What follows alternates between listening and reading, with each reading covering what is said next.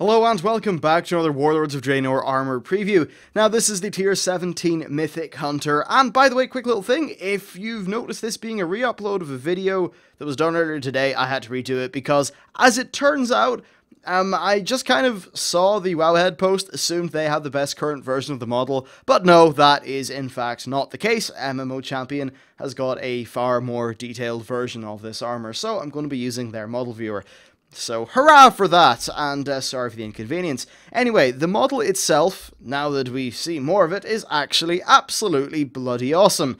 Um, yeah, I think this is amazing. Actually, frankly, this is a very, very cool bit of armor. So, first of all, we've got lots of cool things going on. We have this, uh, let's just cover the helm, right? So, once again, we are wearing the head of a beast, but I think that it is an extremely sort of well done head of the beast. Let's move this down here.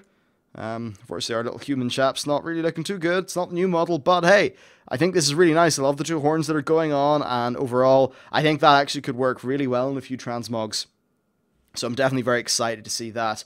Now, in terms of other parts um, of this set, well, we've got the two gears. These are moving around, being interesting. I think this one fires off a big red thing soon enough. And uh, yeah, they're cool. I like the way they're spinning, and overall, it's it's nice. Then, of course, the whole thing is accented by red. I think that works quite well with the brown. It makes the set feel nice and warm, which honestly is a very good thing for a hunter set. I just think it fits in with the theme of the class. Then uh, the main things actually that were missing from the previous version of the armor that we saw were the the boots. Um, that were like they were textured, but it wasn't with the 3D bit, and the same goes for the bracers. So they're looking fantastic, to be frank. And uh, this little shoulder cage thingy majig is also looking great. Overall, this is just a really, really cool bit of armor, isn't it? I'm very, very impressed. So let's try to swap this over to a new model. We'll stick in, I don't know, let's try the human female, see if this works. Uh, see if it works. Nope. Okay, well, oh wow, errors everywhere. But eventually it works.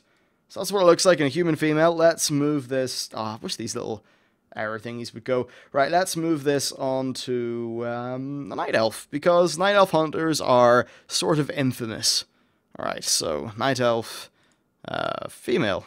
Alright, it does take a minute to load these new models, unfortunately. That's just the way things are. And the new Night Elf model, though, is really great, actually. I think a lot of people really like it. And once again, sorry for these low texture errors. They're rather annoying, and because of them, I'm I know. I'll, I'll see if I can fix it. I'll, I'll, dig in deep to various settings. Anyway, yeah, looking uh, looking really good. Actually, this is a bit a bit of gear that just works well on a lot of different um, characters, and I'm really liking it. I'm not 100% sure what's up with the shoulders um, on the Night Elf female though, because they do seem sort of bent over a little bit. Um, but like this this bit of gear though is nice. Um, yeah, let's just move this on to maybe the orc will work. Maybe the orc. All right, I'll try the male orc. I'm still okay. When the shoulders do work, um, this uh, this is definitely a set that just looks great. Okay, so here's our orc. There's our error messages. Fantastic. We'll just move him down a little bit so we can actually see him in the window. Um, go away. All right, yeah, look at this on the orc, actually. I think that just fits so damn well. Right, so the, the bottom line for me is awesome job, Blizzard. I think this is a fantastic set. You did well, so congratulations. Anyway, let me know what you think about it in the comments. Thanks for watching, and I'll see you next time.